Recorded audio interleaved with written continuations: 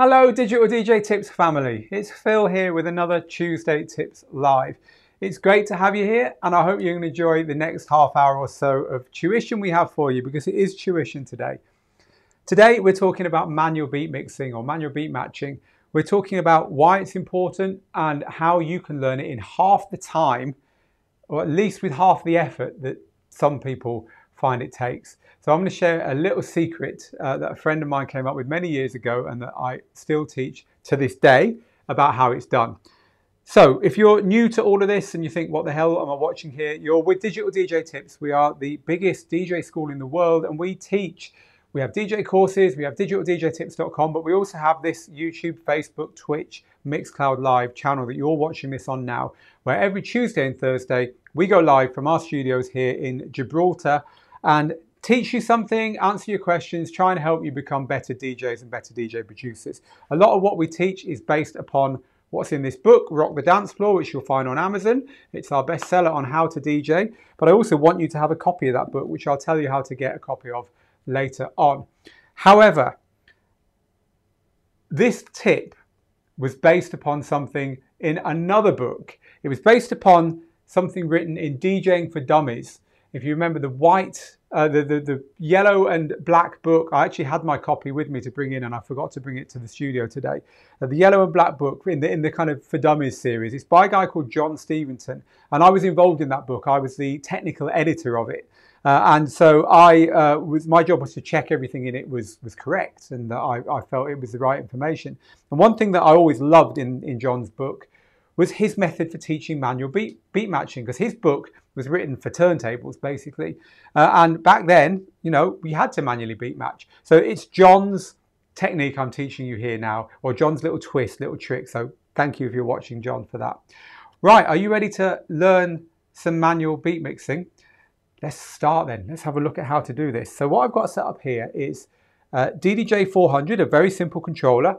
You can learn to do this on pretty much all gear. By the way, you should. You should learn to do this, even if you've got the sync button, even if you've got all the bells and whistles of modern gear, because you never know when you're going to need to mix into another DJ, or you might want to have a go on turntables, or you might have a track that isn't playing ball when you hit sync. Being able to do this is really empowering. Also means you can take advanced mixing training. Again, I'll tell you about our current advanced mixing training in a bit. So definitely try and do this. So I've got a DDJ 400 here, which we're going to learn on. Before we start though, I don't want that thing in the middle there at all. Let's get it away. Before we start though, one first thing you want to do, turn away your laptop. I don't want you to look at your laptop. I want you to load two house tracks up on your laptop and that's it. In fact, let's just turn it back while I check I've got those loaded up okay. But seriously, once we've done this, no laptop, you don't see the waveforms, you don't see the BPMs or anything. But I'll talk through with the laptop there so that uh, so that you can see what I'm doing or so that I can see what I'm doing. Uh, so on the first deck, on one deck, so on the right hand deck say, uh, I've got a, a house track, sounds like this. It's always a good idea to do this with house music. House music with a beat and not much else going on because that makes beat mixing a lot easier for you to understand. So I've got a simple house track and I've actually looped, you see on the screen there, there's a loop going on, right? I've actually looped that beat. So that's never going to change and this is what I'm going to mix over the top of. This is what I'm going to be mixing into, if you like, with the other track. So on the other deck, I've loaded another track. There you go you can see that there now. And at the beginning of that track, that first beat, I'm going to put a cue point. I'm just going to hit cue on my temporary cue down here. So that's now on the beginning of that track. And now I'm going to turn my laptop away. So on the screen, you can see my waveforms. Just stop that playing for a second. Uh, but I can't. I'm now running off what I can see in front of me. I've got no BPMs, I've got no waveforms, I've got no nothing. So to make it a bit harder, because I know one of these tracks is at 124 BPM and one is at 125, I can't remember which. But to make it a bit harder, let's mess around with the tempos. Let's put the tempo on the outgoing track somewhere quite slow. So that's a little bit below the zero. So that now sounds like this. It could be a bit higher. Doesn't really matter, but don't put it on naught because you kind of know it's likely to be a certain BPM. I think it's best to put it away from naught, so it's down there a bit. Now, here's the trick, or here's one of the tricks. On the other deck, I'm going to speed this all the way up to the top. So it's really fast. Sounds like a techno track, right? So I know now that this track is a lot faster than this one. This is the first trick. I now know when I'm beat mixing, when I'm trying to mix this track in on the, the new deck with the old track, I know it's a lot faster. So I've only got to go in one direction. I've only got to slow it down. So all this stuff about is, is this track faster or slower than that one? Whoa, it takes it out of the equation. I know it's faster because I've just made it faster. So John's trick is always start with the track you're mixing in in a position where you know for sure it's faster than the one you're mixing in to. So I've done that now. This one's really fast. And this one, it's its normal tempo. A bit faster, a bit slower, but it's somewhere around the normal tempo. On the screen, you can see what tempos these are set at now, uh, which is part of the game here. I can't. My laptop's turned away here. I can't see it. I'm running blind. So my job now is to mix this one in over this one. So let's talk about how we do that. So the first thing you do when you're beat mixing is you turn down the track that you're mixing in. That's off now. You can't hear that now. I couldn't hear it then because I didn't press play. But you know, you can't hear that now. Now, this track we can hear. Coming out of my speaker here. Speaker, you say? Where's your second speaker, Phil? Well, this is the other bit of learning to manually beat mix that is a real help. Ditch one of your speakers. I've only got one speaker here and it makes it a lot easier when you're getting started at this. I'll explain why now. In our headphones, we're going to listen to the incoming track, the one that you can't hear, this one here. I can hear it in my headphones. If I put those there, yeah, can you hear that? But our crowd can't hear that. It's not coming out of the speaker like that. So you're going to listen to this track in your headphones by pressing the cue button. That's what these cue buttons are for. That'll play it through your headphones because you said, let me cue it into my headphones. That's what it means. So this is going to go on one of your ears. So if you put your headphones on, which ear to you feels the most natural? That one or that one? For me, it's this one always. So therefore, on the other side of my desk, I'll have the speaker. So in other words, the speaker is replacing this headphone, or if you want to think of it another way, this headphone is replacing that speaker. So each of my ears has got something to listen to. And actually, you're going to adjust the volume. So this track's playing now. Uh, and this track here, I'm not going to try and beat mix or anything. I'm just going to start it. You can't hear it, but I can. I'm going to adjust the volume of this, of this so that if I close my eyes, each ear is about the same volume. That's about as loud as that in my ear. That's important because it gives you a soundscape around your head to learn manual beat mixing. Because what we're going to do is we're going to have the incoming track that no one can hear on our headphone. And here, we're going to have what everyone can hear in, in, in our room or our recording or our practice session, what the, what the crowd can hear, if you like. And then we're going to keep trying to get this one to the right speed by slowing it down and slowing it down and slowing it down. That's the, the aim here. So Normally, that's what I would do. Normally, I'd start this playing, I'd start this playing. Oh, it's too fast. Oh, I've got to do this, I've got to do that. Now, it's no good for you now learning because you can't hear the other deck. So what I'm going to do, just for the purposes of learning, is turn up the other deck. So now both decks are playing out loud. We would never do this until we were sure the beat mix was right in, in a real DJ set. But for, for the sake of you, now you can hear that one, that really fast one, and you can hear that one there. So Let's do it. Let's do a manual beat mix. So the first thing I'm going to do is set this one playing. And I'm going to start counting because we want to be on a one beat. A one beat is a beat at the beginning of a bar and a bar is every four beats. So listen to the beat. Now instinctively we start counting. One, two, three, four. One, two, three, four. One, two, three, four. That one beat at the beginning of that little phrase I've looped has just got a bit more to it than the other beats. It's important that you line up a one beat on the incoming track with a one beat on the outgoing track. Now, there's more to it than that, but for the sake of learning beat mixing with just beats playing, that's all you need to know. So, one, two, three, four. No, that's not right. Listen, that's it. One, two, three, four. Have that count going in your head. One, two, three, four. And on the one beat, I'm going to start this play. Now, this is the first beat of the track, so I know it's on a one beat. Three, four, one, two, three, four. Whoa! That's way too fast, right? I'm listening in my headphones like this. Let's try it again. Whoa! That's obviously way too fast, right? So we're going to slow that down a little bit. I'm going to slow this down on the tempo fader a decent amount because that's too fast. So let's have another go. One, two, three, four. Way too fast. But did you notice that that took a little bit longer to go wrong? The first beat sounded all right. One, two, three, four. It went off after like beat two or beat three. We still need to slow it down a bit. Let's slow it down a bit more. Okay, let's have another go. I'm ready here to start this track on a one beat. I'm holding my headphone to my ear off camera. Three, four. Now it's obviously gone out of time now, but that was actually a lot better, wasn't it? It was getting a lot closer. Slow it down a bit more. Three, four, one, two, three, four. That's not bad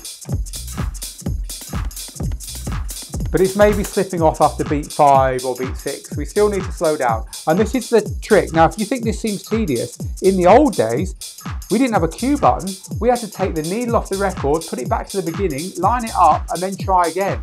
So manual beat mixing on controllers is a lot easier than it was on records. Three, four, one, two, three, four. Now it's still too fast, but that's a lot better, right? You can hear that. Slow it down a tiny bit more. Let's try again. That sounds pretty good, doesn't it?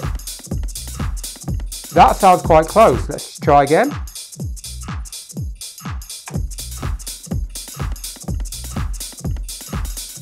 Now at this stage, it really helps to have the headphones on one ear and listen to the other ear on there I can hear it's going a bit too fast. So instead of going back to the beginning, I can just nudge it.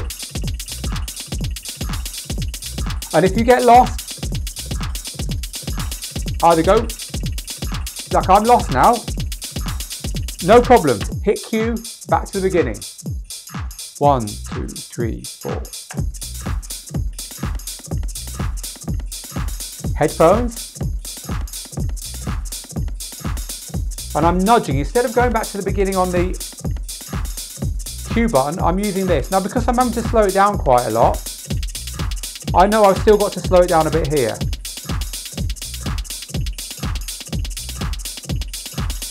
Use your headphones, like this.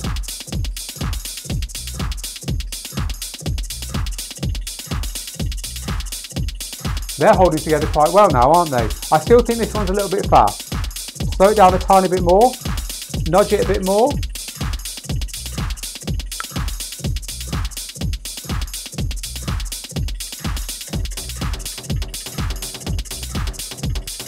It might be, yeah, it's still a little bit fast. So I'm just going to do one more final little slowdown here. Back to the beginning on the cue point. Let's do our real mix now. So let's pretend I've done all this in the headphones and now I'm actually going to turn it up live for the crowd, even though you had it up live so you can hear me there.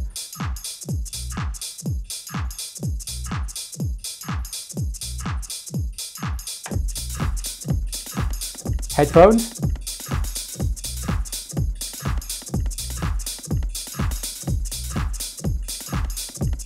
Headphones, it's going off, but I'm not sure where. It's a little bit fast. Going like this really helps with that. Still a little bit fast.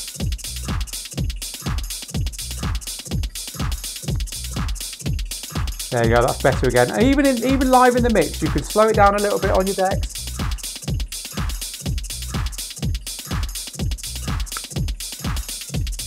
And by listening like this, it's quite easy to spot which one is slightly out. But that is not a bad mix. There you go. There's track one, track two. Track one is still a tiny bit fast, but that's basically nicely in time there. And that's how to manually beat mix in half the time because you're always slowing it down until you get to that very end bit when you just do those little adjustments.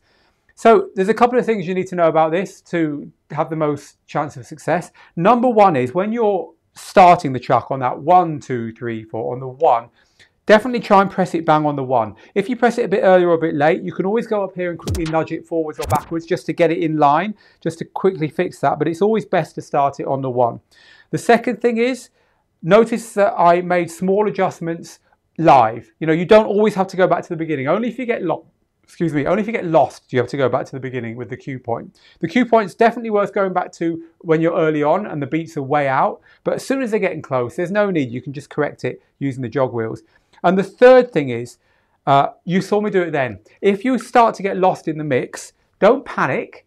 Instead, calmly put your headphone back on your ear, other ear tune into that speaker and say, is this one faster or slower?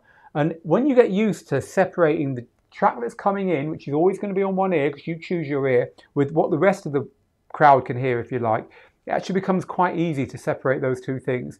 And it's a, a learned skill that you can certainly improve by using that level control so that your headphones are not too loud or too quiet against your speaker. You definitely want that kind of soundscape going on around your head where if you close your eyes, it's almost like you're inside both songs, um, but one of them's here and one of them's here, and then it makes it easier to make the adjustment. You know, this is a bit like riding a bike. It's one of those things in DJing that you uh, either get quickly or it takes a bit longer, but it'll never be immediately. But once you've got it, you never forget it, just like riding a bike. Oh, for fun, you can already see this, but I'm going to pull this round and see how close I got. So one track was on 123.58 on this deck here. And this, in the end, this track here was just a tiny, tiny bit slower. That final adjustment just pushed it slower. 123.33. They were 0.15 of a BPM apart. If you are within about a quarter of a BPM, uh, you're absolutely fine. That mix will carry on fine with just the tiniest nudge for, you know, long enough to do a really nice beat mix. So I kind of passed the test there. I was within a quarter. I normally get it to within uh, a tenth. So I'm a bit disappointed with myself there, but hey, we are live in front of hundreds of people. You know, in the old days, we never had any of that. It was all by ear, and I'm sure most of our beat mixes were half a BPM off here and there. Uh, but yeah, I'm all, I'm reasonably happy with that. Uh, so uh, there you go. There's the proof of it. Left hand deck 123.33, right hand one 123.58. And that is how to manually beat mix in half the time. Look, uh, this has been a long lesson for me without chatting to you guys and girls. And this is normally about chatting to you guys and girls. So I'll tell you what we'll do. We'll go back to the main comment cam uh, and let's say hello. Let's meet. Let me just get that camera a little bit higher. I was doing a sat down meeting with that camera a little while ago, uh, which is why it was uh, low. Uh, welcome everyone. Uh, let's see what you are asking about this. Um, so Terry says, uh, good technique, Phil. I'll give that a try. Brilliant DJ set yesterday. House music is the best. Yeah, I did an old school DJ set yesterday. So if if anyone wants to hear that, it's on it's on our YouTube channel. Uh, so um, uh, thank you for that. Um, so DJ Exclusive says, "Yep, I've been doing that since the 80s. Yep, well, you know, good on you. So have I." Uh, but a lot of people haven't. Scott says, uh, a great lesson, Phil. Thank you very much. Must the BPM be the same? No, but you want to get it close. You know, the, the BPM's exact, which is what happens when you hit the sync button. Then the tracks are locked forever, which is the, the holy grail. You know, the idea is to get the BPM as close as possible. Uh, the tracks you choose, the BPM shouldn't be the same. Deliberately choose two tracks that are slightly different and then do what I did, mess them up a bit. You know, as long as they're within three or four BPM of each other, it's fine. So, um, uh, Mike says, I use sync when I'm using four decks to overlay loops and vocals, but regardless, if you sync for this, if you think sync for that or just to mix two records, you have to know this. Thanks to Phil for teaching this today. You do have to know this. It's a good thing to know, not least because uh, it means you can do a lot of stuff that we teach in our courses. For instance, our house mixing mastery course, which is uh, this one here, by the way. It's currently 35% off just literally for the next couple of days because we just launched it. You know, we assume that you can correct a mix in the way I've just shown you, even though you might be using your sync button in our courses. So while you can take our courses without knowing this, it's certainly a good idea to practice this stuff. Uh, so again, that's that link if you want to have a look at house mixing mastery. It's our new course, um, which is 35% off, but literally only for another day or two, I think. So do uh, scribble that link down if you're interested in that. Uh, so more comments.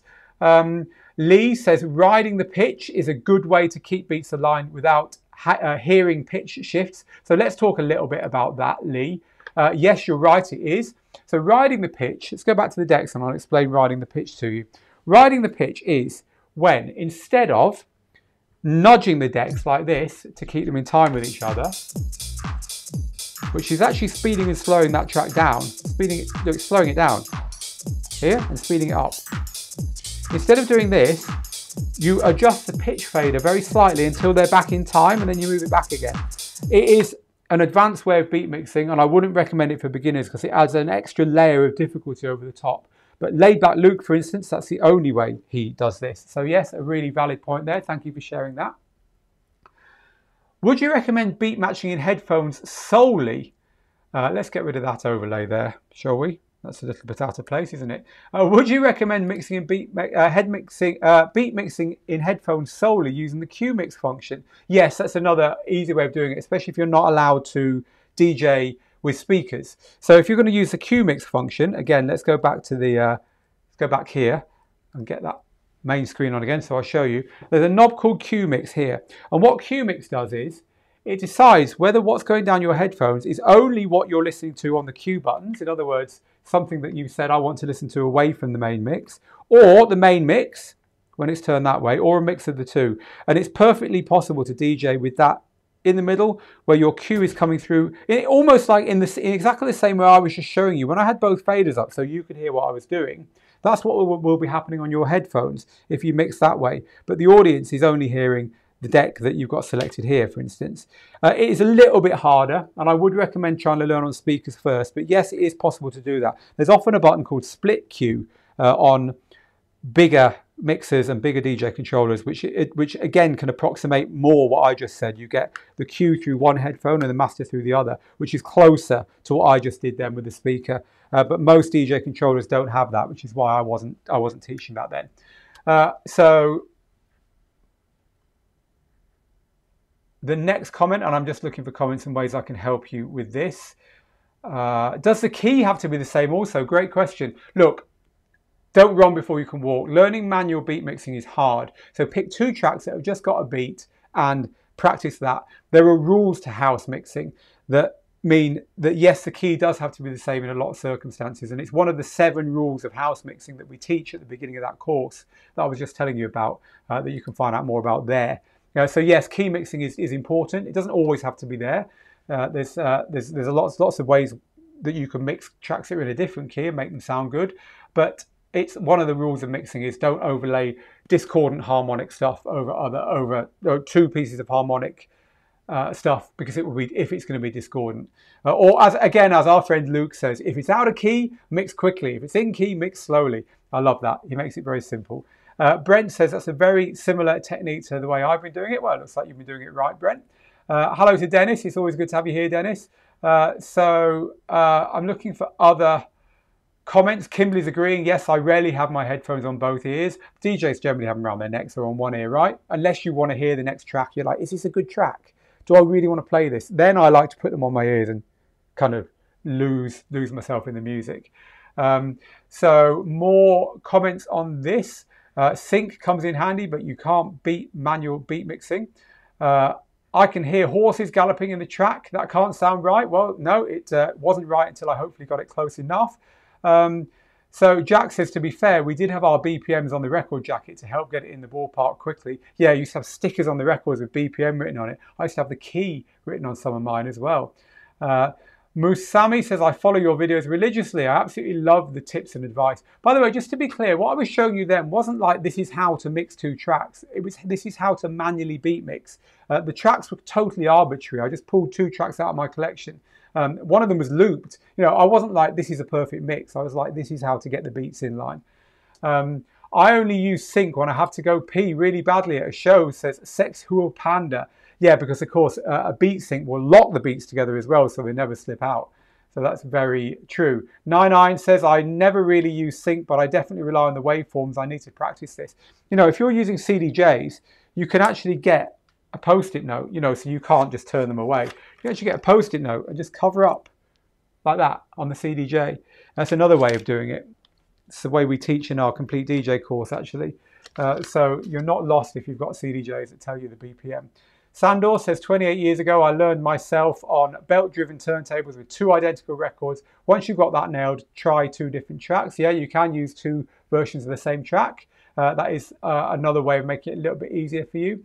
Dave says, I learned beat matching on my first set of decks in 2011 to the same Deadmau5 track. I knew when I heard the reverb it was all good.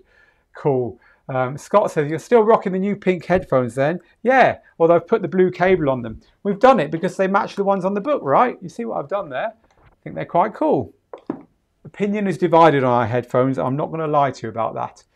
Uh, so, uh, and uh, more comments on manual beat mixing. Do you need to start it faster, says Jason? Surely it's good to train your ears to know when it's faster or slower. Well, it is, but it's hard enough as it is. So think of starting it faster like your trainer wheels right? It just makes it a bit easier to take those steps. The thing with manual beat mixing is you want to break it into as many small steps as possible. That's why I haven't talked to you about musical phrases today or key or anything like that because once you've got one step done, you can move on to the next and move on to the next. So, so break it down in that way. Uh, Jason says it's weird because this was the first skill you needed to learn when you were using vinyl, and now it's almost a side skill. It's funny, isn't it? People now like, you know, I, I, I've learned to DJ on my phone, then I'm going to get a controller. Then I hope to get some CDJs. And finally, I want to learn vinyl. And we're like, that's the reverse of how we did it. We started on vinyl, then we got CDJs, then we got a controller because they're damn cool. And now look, I can even do it on my phone. It's like, and I love that. I love the fact that people starting now with everything want to work back and learn where it came from. I think that's a cool thing to do. So if you're thinking that way, I'm not criticizing you. I think it's awesome. Uh, so more comments on manual beat mixing. Let's get one or two more up. Uh, Richard says, good advice, Phil, breaking the teaching into stages. Uh, Dan, Danilo says, what stand are you using for your laptop? Someone will share with you in the comments about that. Uh, one of our team, so that is Danilo on Facebook team. If you can let Danilo know what kind of stand this is. Uh, Stevie says it was nice to see a free DJ mix with Steve the tutor last Thursday. Great job, you guys. Keep up the good work. So yeah, this course we've just launched, House Mixing Mastery. Uh, there is a free lesson, a completely free lesson that we we premiered on um, YouTube, and you can actually still watch that. So if you go to djtips.co/slash free mix, uh, there's a full 20 minute lesson where we teach an a cappella loop roll transition. It's everything you need in that lesson. We're not holding anything back. You can follow that and you can be doing it by the end of it. So if you fancy learning a house trick now, head there, djtips.co slash free mix to learn that one. Uh, so, uh, and one or two more comments. Uh, oh, got some love for the headphones. That's good. Uh, how do I mix with Virtual DJ on a Hercules Inpulse 200? Plug in that little cable that came with it that will split up your headphones and your speakers and do exactly what I've shown you uh, today. Uh, Lee says when beats are locked, sometimes the bass gets cancelled out. Right, perfect example of what I was saying a minute ago of learning in stages. So yes, when you lock the beats, sometimes the bass drums kind of cancel each other out. It's called phasing. And in, in, an ironic way, especially if you're using two copies of the same record, it shows you're getting very, very close to a perfect beat match. In real life, when we're DJing, we normally turn down the bass on one of our tracks and then swap it over with the other track at the point where we want the other track to dominate so that we, we stop that problem of the two. Start that one playing there. Let's get this one playing again over the top. So that's one bass. That's the other bass. One, the other, both. And two basses is pretty overpowering when you do it like that, which is why DJs kind of in real life will, will manipulate the bass in that way. But again, don't try and do that early on. There's time to learn that stuff. Thank you very much for pointing that one out, Lee. Uh, and I think we're done here for today. Um, Teasy's just being uh, nostalgic. Boy, I learned on vinyl years and years ago. My dad's techniques, you're making me seem old now. My techniques are still up there from years and years ago. Uh, it's been a lot of fun doing this today. If you want more free lessons like this on our Tuesday tip slot, do let me know in the comments on Facebook and uh, and YouTube, and let me know down there now, please, if you've enjoyed this today. Just for me to uh, let you know, I said I'd tell, tell you where you could get a copy of the book. Uh, if you want to get a copy of the book, uh, I want you to have one for free. Just go there, djtips.co slash join. Uh, as our latest member, it's free to join Digital DJ Tips. I'll give you a PDF download of this. Uh, although you can get it on Kindle, all good bookshops, on audiobooks as well. So there's lots of ways of getting that book. Uh, but I'd like you to have, if, you, if a PDF is enough for you, just come and join us there. And uh, and we will uh, let you have a book that way. Uh, and if you're interested in the house mixing course, honestly, it's uh, the right time to get it because it's 35% off only for this launch week. That's the house mixing course. And if you learn what I just showed you now, you'll be able to get the most out of not only that mixing training, but all mixing in your DJing going forward. Uh, so thank you very much people for being here today. As always, it's just time for me to say, get good, get out there, and make the moments. I'll see you in the same slot on Thursday for an open house Q&A, and I'll see you on Sunday, 25 minutes from now, wherever you are in the world. 25 minutes from this moment, uh, I'll be doing another house mix, probably live from my balcony, just five minutes walk that way. Uh, so I'd love you to join, let your hair down, hang out, and listen to some music with me. Uh, but meanwhile, from me, uh, oh, look at that. How nice from Scott. This book encouraged me to pursue the DJ stuff. Glad I did. The learning curve is a little steep. Stick with it, Scott. Um, so, yeah, uh, so we're out here. Thank you very much, folks, for joining us today. Share this if you enjoyed it. That helps us to do this stuff. I'll see you again soon. Bye bye.